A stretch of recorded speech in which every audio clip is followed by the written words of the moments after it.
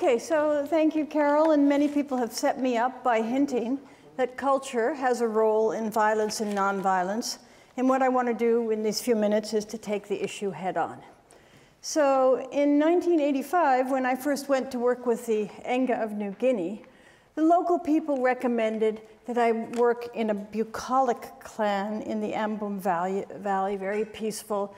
The clans hadn't fought for 25 years. They went to school together, they went to church together, they socialized, they intermarried. And um, I thought this is a really good starter clan. And it really was a jump starter clan because after I'd worked there for eight months, um, there was a tussle in the valley bottom.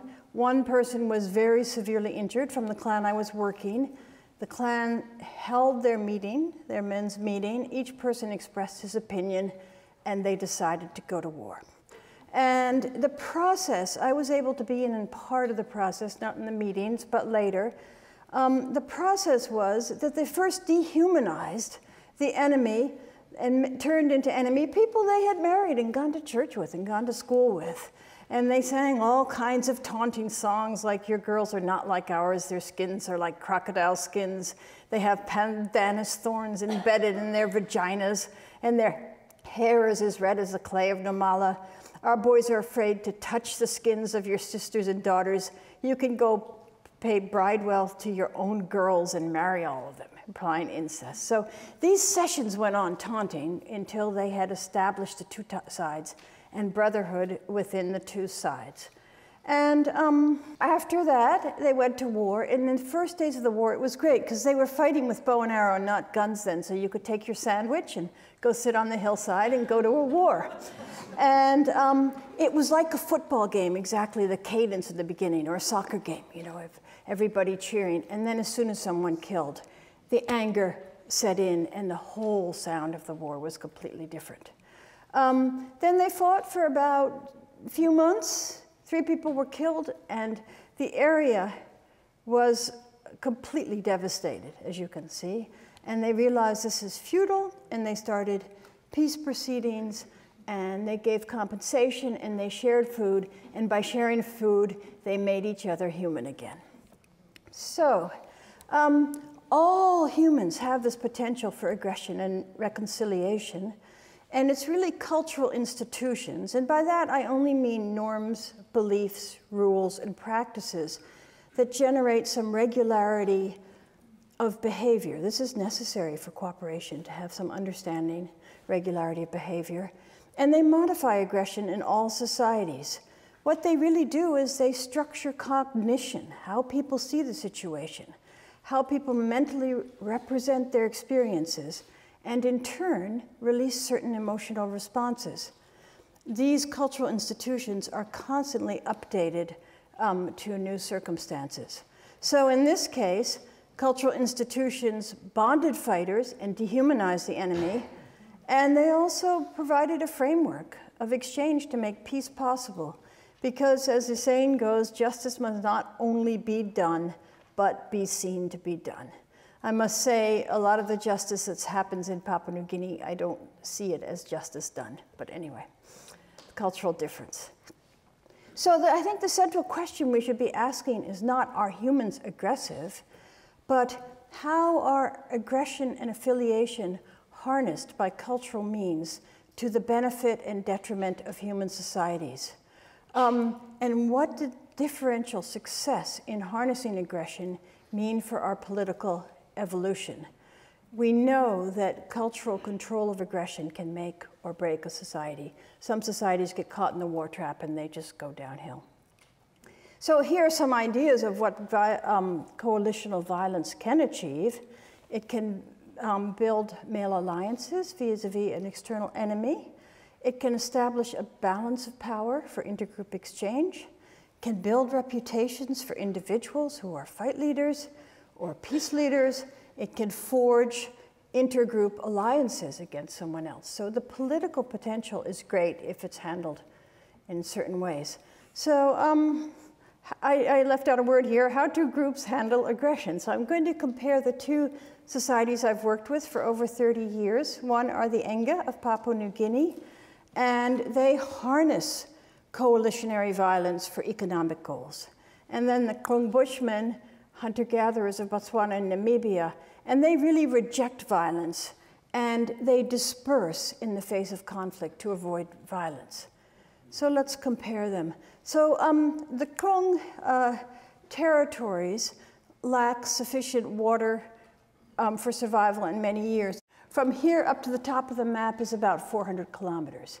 And these lines here show the exchange partners of one person and all the places they can go in times of hardship. There are only about five reliable water points in this area. People are forced to move all the time to distribute themselves over resources, and they have to maintain networks and social ties to do this. And this is a picture of a lady wearing her beads, and these are gifts from all her partners, and she's flaunting her social ties because she's trying to marry off her grandson. And so the Kung create um, networks of mutual access to alternate residences, and by that way they maintain a high mobility, but they have few cultural means to deal with aggression. They have no club fights like the Ache. Um, they avoid aggression, and when it does break out, people do fight. They get the fellow by the arms and they literally put him in a straitjacket so the body's wanting to fight, but the limbs can't move. And then after that, they disperse by voting with their feet and go live apart till things cool. But sometimes this happens too quickly, and arrows fly, people die, including the bystanders. Um, so the reasons for the conflicts, not surprising, is women, psychopaths, and, and in such societies where there's little violence, they, they hesitate to, to take out psychopaths until it's too late. Hate, revenge, resources very few and unknown causes. I don't know the causes of all fights. So I'm going to just tell you some sort, a few stories of homicide that this old man Klingla told me to give you an idea of what it's like. So first of all is a chaotic response to violence. This, this man Klaus stabbed his lovely wife Shuko with a poison arrow out of jealousy. And the story goes, in the morning before sunrise, she cried, ooh, I'm dying. Clow the boastful one has killed me. Clow returns to the scene and he provokes him. Have you perhaps seen Clow the boastful one? Well, here I am, he said to his wife. And what did I tell you yesterday about not going to another man's fire? And now you are saying, ooh, and dying. In a rage, her brothers pursue him. You will die with your foreskin pulled back. You all, we will catch Clow the boastful one so he can on himself. They jumped up and chased him. Go die, ejaculate on themselves. And then there comes this long story for 10 minutes about dodging and chasing and chaos.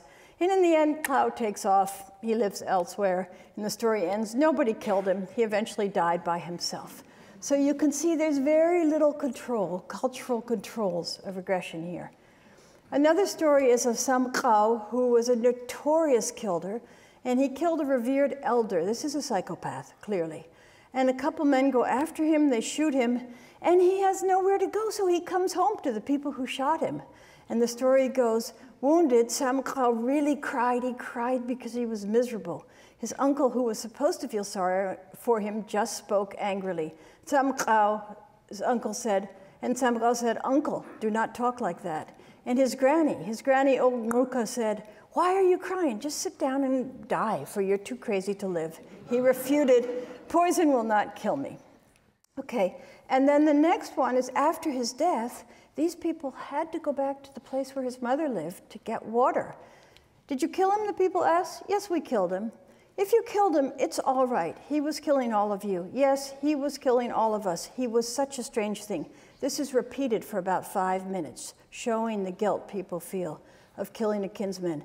And his mother was there and said, Even if he's dead, it doesn't matter. He was not normal. We're not going to blame each other. We do not even have to say that the one who used to be alive is now dead. Instead, we're going to live on. And so the story goes on. So you can see there's a strong cultural tendency to repress revenge because if you had revenge, people could not move around with resources. But unfortunately, because there are no means to do with violence, no cultural means, the, the homicide rates are high. 111 homicides per person per year. In the US in the 1990s, it was 9.8. Pinker's figures for tribal societies are 800 per 100,000, and the Semai, who are the most peaceful people, 30 out of 100. So they're high just because there's no way to manage them. Who's killed? Close family, close in laws, others in camp nearby, very few in other groups. Revenge, it's often taken immediately in the same fight, but if not, only in a few cases, mostly of psychopaths, is it delayed, and there are a number of cases where I, they know of no revenge. There's no evidence of war. So the outcomes is a wonderfully peaceful daily life with very little aggression. And when I lived at the community of Kaikai in 74, about 150 people lived there. There were no physical injuries from violence, not one. Many heated arguments, seven um, physical fights in which people were straitjacketed. Mobility was maintained. The downside of this is there are no male alliances, corporate groups, and they're losing their land to ethnic, other ethnic groups. Now I'll move on to the Enga of Papua New Guinea. Um, the two places could not be more different. Highland horticulturalists organized into clans and tribes, strong corporate group alliances, um, highly competitive wealth exchanges, which are fueled by wealth from outside. So they have both a corporate group strategy and, like the Bushmen, a network strategy made on the basis of female ties. And war is used to bond corporate groups and establish balance of power so that the wealth can flow. They have many institutions to bond corporate groups. You can see at the bottom the picture, men at a very early age go live in the men's house where they learn clan history, where all the men circulate from the clan, they bond. Then on the right side, they have bachelor's cults, which bonds a cohort. They have clan meetings where every man gives his opinion about the war. Will it hurt me? Do I want war? And the clan members support each other from cradle to grave agriculture, house building, bride wealth, defense, funerals, all of these things. On the other hand, you have cultural institutions to support the networks with other groups and many exchanges to celebrate mother's kin and in laws. Warfare is for men only because if you kill women, that kills the networks because they're made on the basis of marriage ties. There are rules that contain warfare so they don't get furious, and there's peacemaking after all wars. And um, so when a man was, the, these are some of the feelings that are generated of brotherhood by these institutions. When a man was killed, the killers, the clan of the killers sang songs of bravery and victory. Their land would be like a high mountain, and that's how it was down through the generation the member of the deceased clan would become small, they would be nothing. But when they had avenged the deaths of their brothers, their heart would be open because they had gotten back on an, evil, on an equal footing. So that explains these, these institutions generate a need for revenge. And another thing the brotherhood generated, people fight also for brotherhood. Fighting is like eating pork, sweet. If you don't want to fight, never start because after one war, Fighting will get in your blood. You will not want to stop. The excitement, the brotherhood, the desire for revenge for the death of your brothers. So these are the feelings generated by cultural institutions that so contrast with the Bushmen, um, who don't have these institutions. And the last one is they have peace exchanges and reconciliation. And um, here's a quote from a man All things happen because of the tongue, the uncontrollable tongue that ought not to have said certain things. One must say soothing words to the victim's clan. After you had comforted the victim's clan with words, you must give them food at any opportunity. So this is formal institutions, again, with formal speech to um, change emotions.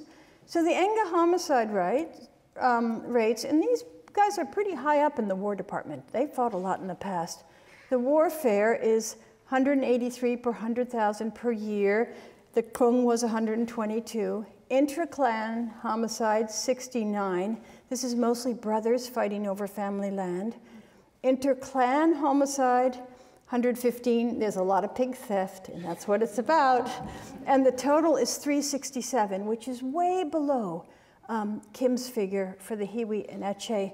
Why? Because they have peacemaking and because they maintain a corporate and network strategy. So the outcomes um, there, frequent violence in daily life. I mean, Bushman life is wonderful without violence.